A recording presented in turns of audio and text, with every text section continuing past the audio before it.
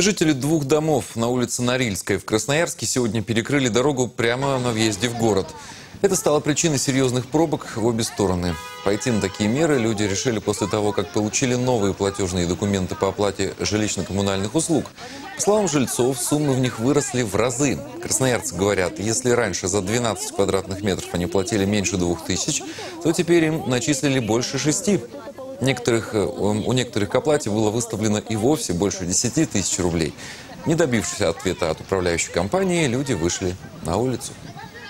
Там говорят, обращайтесь в кассу, там в кассе девушка сама в припадках бьется, ее уже все достали, потому что увидели все квитанции, соответственно, на ком-то надо злость срывать. Пикет продлился около получаса, после чего люди разошлись. Ситуацию на Норильской уже взял под контроль отдел муниципального жилищного контроля Департамента городского хозяйства. Они проведут внеплановую проверку обоснованности тарифов.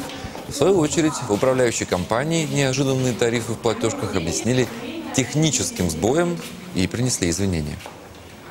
В данный момент работа кассы приостановлена, все закрыто. Э, В настоящее время несколько программистов занимаются устранением этой причины. Э, Обо всем будет дополнительно сообщено в объявлениях